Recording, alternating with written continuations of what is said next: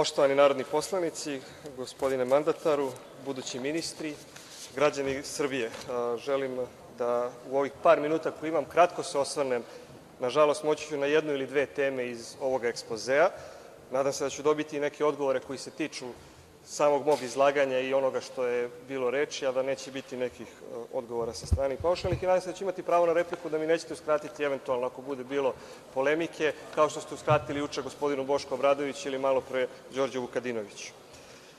Šta reći iz ovog ekspozea? Bilo je zaista teško odabrati jednu temu, ali evo ja bih se koncentrisao na nešto o čemu smo gospodin Vučić i delegacija Srpskog pokreta Dveri razgovarali pre nekih mesec dana.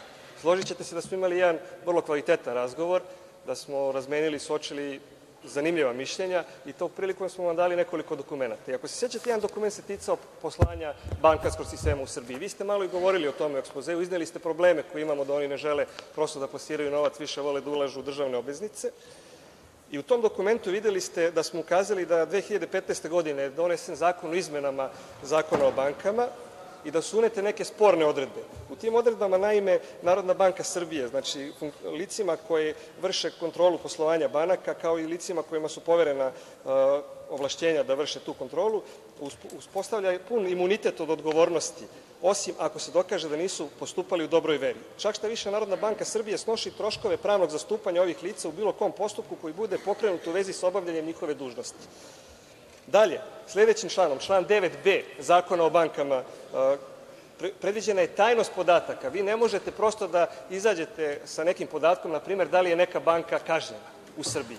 A videli ste da ste dobili od nas primer jedan Evropske komisije, kako Evropska komisija kažnjava banke sa milijardu i po, a takođe ste dobili na kraju dokument da je za preko devet milijardi kažnjene banke u Velikoj Britaniji i u Državama. Samo jedan slučaj nameštanja kamata.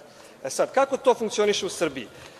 Ja imam podatke. Naime, Narodna banka Srbije u periodu od 2007. do 2014. godine izrekla 62 novčane kazne bankama, 19 novčanih kazni članovima izvršnih odbora i osam kazni članovima upravnih odbora banaka. U ukupnom iznosu nešto manjem od 490 miliona dinara. Inače, ovo ne znači da je taj iznos naplaćen od banaka, zato što su kasnije u nekim žalbenim postupcima bili oslobođeni ponekad od tog iznosa. Nije svaki put kažnjen od strane kontrole Narodne banke. Tako je, recimo, Pireus banka 2008. kažnjena 5.200.000 dinara po nalogu specijalnog tužioca zbog malverzacije u vezi sa poslovanjem firme „Ekoprodukt“ stečajna mafija. E, vidite, najveća, jedna trećina tih kazni izrečena je u 2007. godini, ali da se skoncentrišemo na poslednje tri godine, tu moram da kažem da je primetan porast. 2012. 6 miliona 700 hiljada, tri banke kažnjene, da bi 2014. to skočilo na 70 miliona i šest banki kažnjenih. U tom istom periodu, od 2015. u prvih devet meseci, vi imate 12.000 pritužbi građana na poslovanje banaka. To je porast u odnosu na 2013. Znači, sve vreme dok ste vi na vlasti od 40 procenata. E, vidite, ja bih vam dao, kada završim ovo izlaganje, jedan dokument će dobiti buduća ministarka pravde, pošto se nadovezujem i na ono što je gospodin Drecun izlagao i apsolutno se slažem ono što je čitao o reizboru sudija da je apsolutno u pravu. Vidite, u ovom dokumentu moći ćete da se upoznate da su 2014. i 2015. primer samo jedne banke, a to nije jedina banka, znači Pireus banka, je 2014. i 2015. zaključila ugovor sa predsednicima Drugog i Trećeg osnovnog suda u Beogradu, kao i sa predsednikom Vrhovnog kasacionog suda. A iz prateće dokumentacije videćete da ima još sudova po Srbiji, kojim zaposleni u tim sudovima dobijaju povlašćene uslove kreditiranja dok su zaposleni u sudovima. Tako da imate, recimo, sudije koji imaju kredit od banke, keš kredit ili stambeni kredit od 0,75% do 2% na godišnjem nivou banka može jednostrano da promeni uslove kreditiranja. Sad mi vi recite kako, na primer, evo, Pireus banka ima sedište na Novom Beogradu, nadležan je Treći osnovni sud. Preko 4.000 kredita u švajcarskim francima je, na primer, izdala Pireus banka. Veliki broj sudskih postupaka. Svaki put kad je Pireus banka tužena, nadležan je Treći osnovni sud. Kako može da bude nepristrasno pravosuđe ukoliko sudija, na primer, ima kredit u banci pod povoljnim uslovima, a banka može da mu promeni visinu kamatne obaveze? Jednostrano. Da li možemo da vidimo uvid koji sudije dobijaju te predmete? Ima ovde jedan disk i još nekih ugovora kako banke otimaju imovinu i privrednim društvima, a ja bih pozvao vas sada, malo pre je Drecun pominjao reizbor sudija, apsolutno ste u pravu za sve što ste rekli za reizbor sudija, jedan veliki skandal. Ako se sećate da je dve trećine od sudija koji nisu bili reizabrani učlanilo se u stranku, da li je to tačno? Postoje podaci. Preko 600 sudija koji nisu bili reizabrani po nalogu Snežane Malović i Mikija Rakića uzeli su člansku kartu Srpske napredne stranke. Pozivam vas, gospodine Vučiću, da javno izađete i kažete da je tim ljudima prestalo članstvo u Srpskoj naprednoj stranci, jer nemamo podatak da su se iščlanili iz Srpske napredne stranke.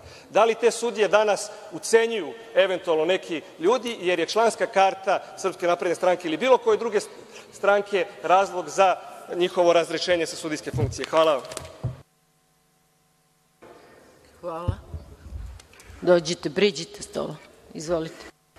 Ja ću i u toku dana nešto da dodam na jedno pitanje, u ovom trenutku nemam odgovor, na drugo imam. Dakle, ovo je, da imali smo dobar razgovor, a, nije problem, biće pritužbi na banke sve više, posebno zbog kredita u švajcarskim francima, biće i sve više problema biće i sve više problema zbog činjenice da je to trend evropski da se to dešava u gotovo svim zemljama, naročito mediteranskim. I treba da znate da je naš bankarski sistem stabilan i mnogo stabilniji i čvršći nego mnogih evropskih zemalja.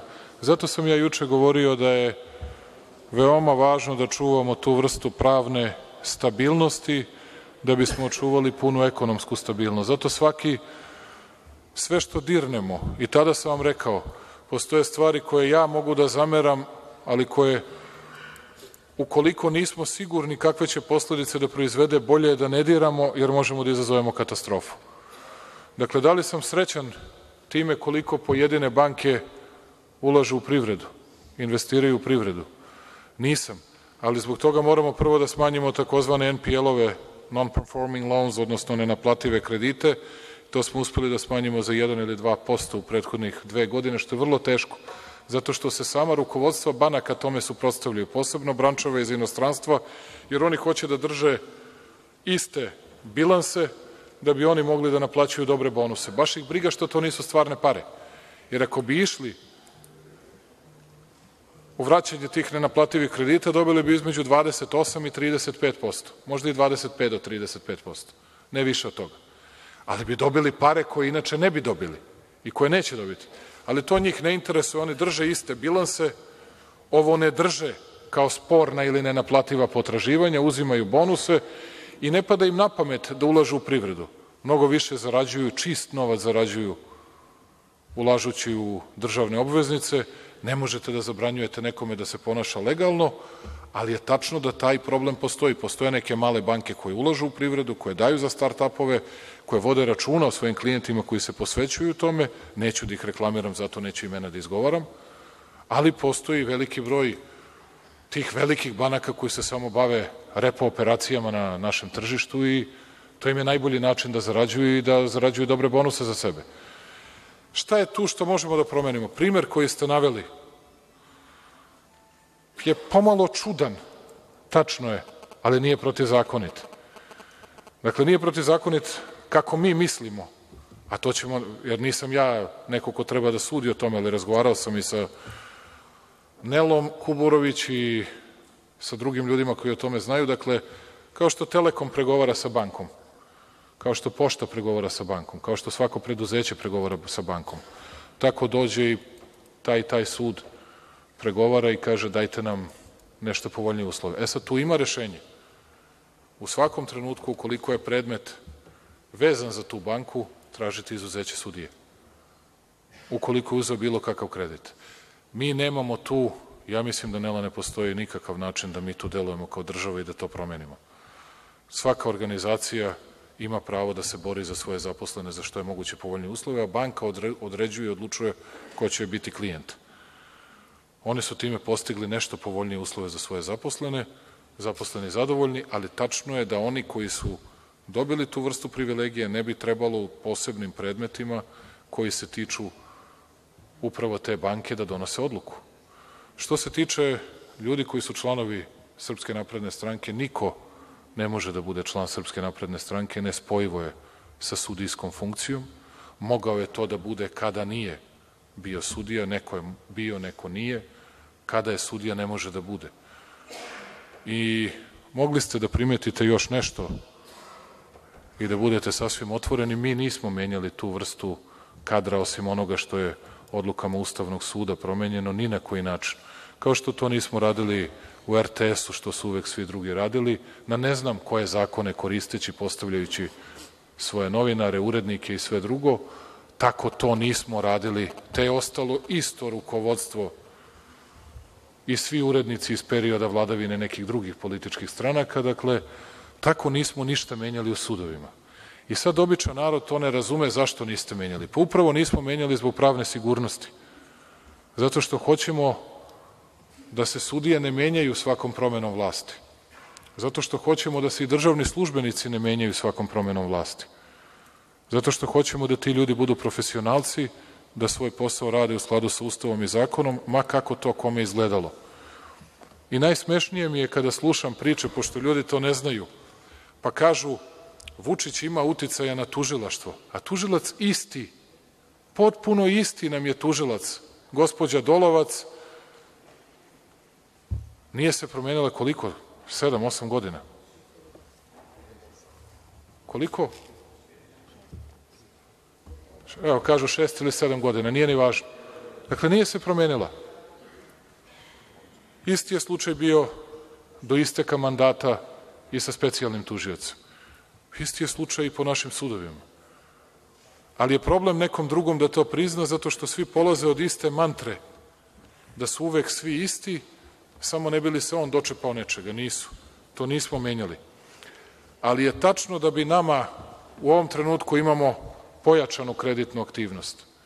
Ali to nije ni upola dovoljno koliko je Srbiji potrebno za pojačan ekonomski rast.